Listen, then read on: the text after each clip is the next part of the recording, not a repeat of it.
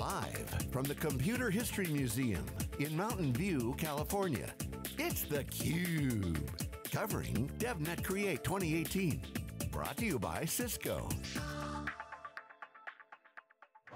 Welcome back everyone. We're here live at theCUBE in Mountain View, California, heart of Silicon Valley for live coverage of theCUBE with DevNet Create, Cisco's developer conference for cloud native and all things really DevOps. This is not the core DevNet normal Cisco development uh, world. It's really more of the, of the, of the forward um, progressive view of cloud computing. Cisco has their own DevNet Networking Development Conference. I'm John Furrier with Lauren Cooney. Next guest is Jared Rhodes. He's an MVP for Azure with QiMata, which is his company there. Thanks for joining us.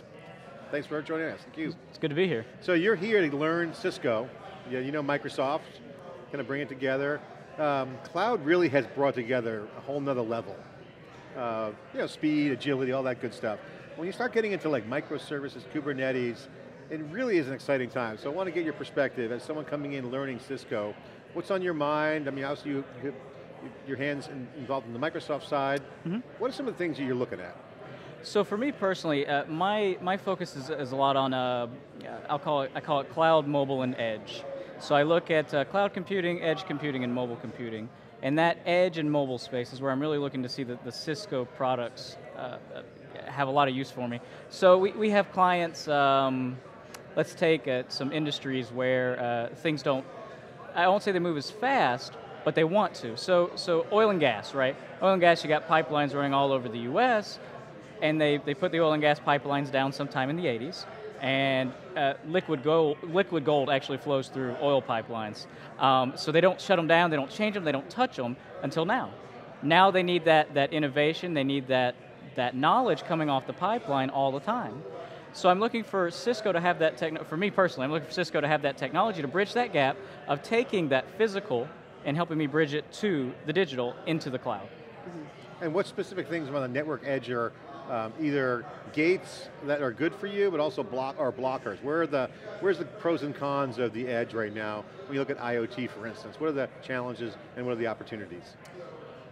The challenges and opportunities, so getting started for a lot of people is tough which when you're trying to build out a project team, you know, that, that can make it tough. I mean, if it's a new space, there's not a lot of people in it. If you got to hire for it, yeah. you got to find somebody. So you either train them or you uh, find something you can buy off the shelf to get everyone started. Um, what was the other part of the question? The opportunities and challenges. Uh, the opportunities. Is it, is it technical? Is it business? Is it more? Is there? It's all the above.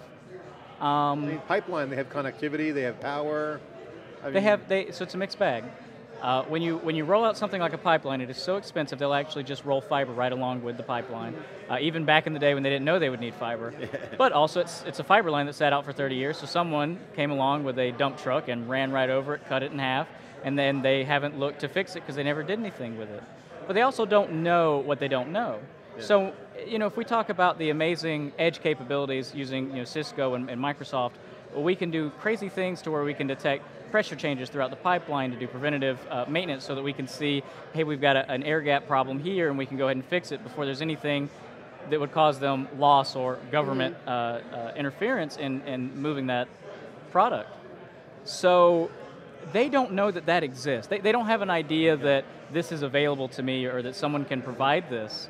Uh, we have one use case where someone uh, took a drone and they would just fly the drone over eight hours of pipeline and try to check for any defects. Mm -hmm. And until they see that in action to them, they just don't know it exists. So it is business and, and, and, yeah. and the opportunity is, is showing them this and helping them uh, integrated into their systems. That's great, and I think you talked about edge too. Can you talk a little bit about some of those use cases?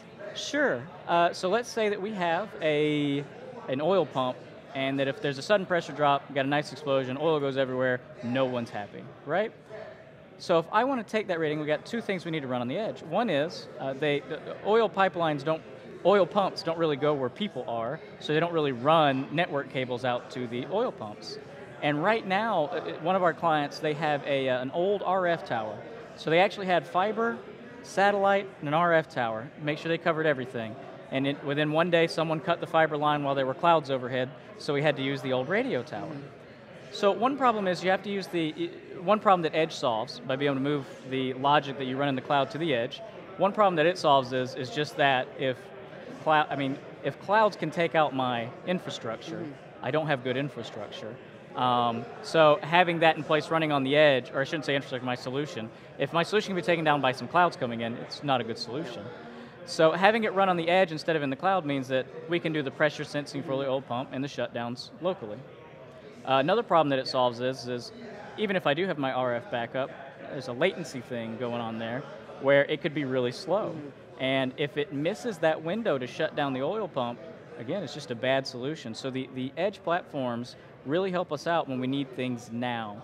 And they, it, I use the oil pipeline, but my, my actual client, what they're doing is they're, they're doing uh, driverless cars. They're getting into that space, and you can't, if someone runs out in front of your car, I can't send it up to the cloud to run through some data process. It needs to know it now. Yeah.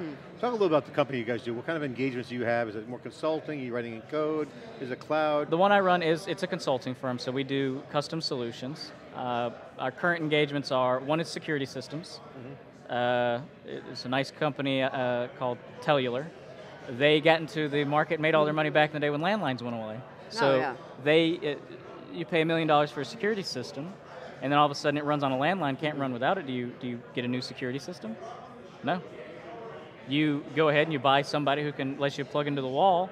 And so they made they, they made a lot of money on that back in the day, and they've been slowly but surely staying in the industry, doing uh, upgrades to security systems, uh, cameras, everything. So that's one of our clients. Um, another one is the one I was talking about, uh, Metrotech. They do uh, the they do multiple things in the uh, driverless vehicle space. They do traffic analysis, lidar detection. Uh, they actually take the old cam. You remember the, the traffic cams that everyone hated? Yeah. That if you if you got too far into the intersection, it would uh, send you a ticket automatically. yeah, unless you go like this. Right. so uh, a lot No of those comment. cameras, a lot of those cameras actually still exist after the politicians had to pull them back, and so they're retrofitting those cameras so they can actually detect traffic in the intersection. Is there a crash? Do we need to have emergency responders and that kind of stuff? And then uh, um, our final engagement is with a, a company that does another set of security systems for. They're called Ren Solutions. They do security systems for uh, big box stores, Walmart, Target. Uh, they do things that, that I wouldn't even think of in those kind of stores to get analytics and to keep uh, Yeah. stuff from walking away. I mean, they're hardcore on the analytics. Talk about architecture. I mean, you know, in the old days, you had a web server, you had middleware, you had storage and compute, application front end. Now with cloud, you, you have a lot of more opportunities, but also architecture's changed. You got on-premise concerns, whether it's security, how you manage cloud and edge. Um, anything that you're seeing that you can share in terms of success, approaches, general rules of thumbs? It's made things easier. So one of the holy grails in architecture uh, years ago was an event-based architecture system. So uh, if you think about a lot of the computer processes we have, we really care that something just happened. It's, in an architecture concern, you care something just happened. Someone just logged in, someone just walked past a, a thing, a system goes down, a system goes up. You just want to know that things happen. And in the cloud, it's, it's actually made that a, a hundred times easier, just to detect this thing has happened, but not just this thing has happened, but to expose it to everyone within the organization and let them do whatever they'd like to. So everything from a system is up to uh, hired a new employee and they're in the system. Or also, and also I think also interesting, I'd love to get your thoughts on this, is that an event just happened, so you can capture it, but also you can actually put some synthesis around it with other data. You can actually extract some meanings, that, hence the predictive analytics trend and prescription analytics. So, interesting, It is. What, what you can do with data now in the cloud is, is interesting. And I, I, can talk, I can talk specifically for the Microsoft side. Uh, it's really at the point to where when I talk to clients about what they want to do with their data, it becomes a, like, how much money do you want to throw at it?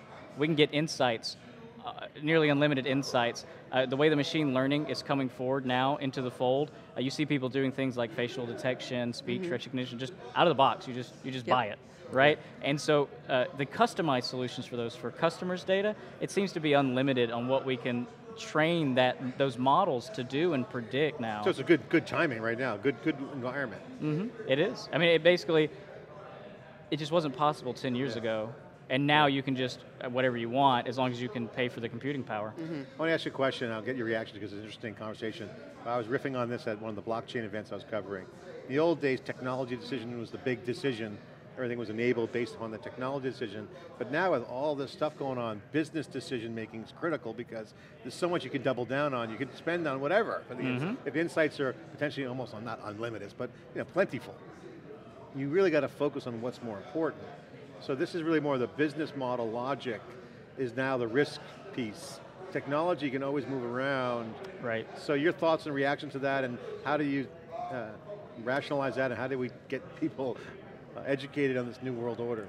A lot of sales engagements now really are uh, a menu. Uh, it really is a menu. You're putting it in front of a CIO and you're going, here, I want you to look through this and tell me what you want. Because we can do pretty much anything, do you- and, and then they can start picking and they can be like, you know, no cheese on that hamburger. Yeah, yeah. You can give them just a menu and say, do you want your Gotta apps? on the side. yeah, do you want this on the side? Do you, what, what do you want? Y- y- Yeah. When you talk about technology now, it's really about just telling them uh, if you want if you want all of your mobile apps enabled to have speech recognition, uh, facial detection, if you want unlimited data storage, it, it- this is just it. This is how much that costs now. And you can just go through your menu and pick and choose when and how you want it.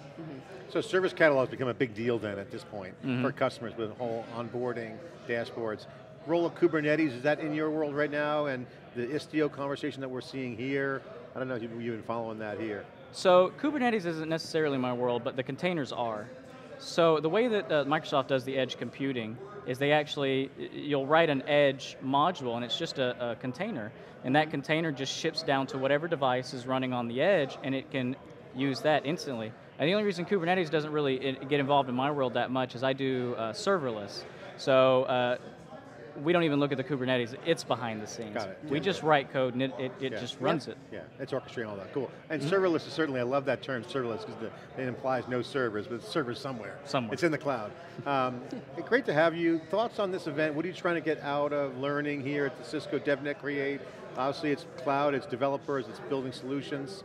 Uh, for me specifically, I, I really want to see what Kinetics has to offer in the IoT smart city space, and I want to see how that integrates with Microsoft. I, I, I want to find out where we can meet infrastructure to the digital and make that integration as smooth as possible. Jared, thanks for coming on theCUBE. Really appreciate your Thank you. insight. The practitioner trying to synthesize, make sense of it, doing some cutting edge things, IoT, business impact, all happening in real time, right here on theCUBE. More after this short break.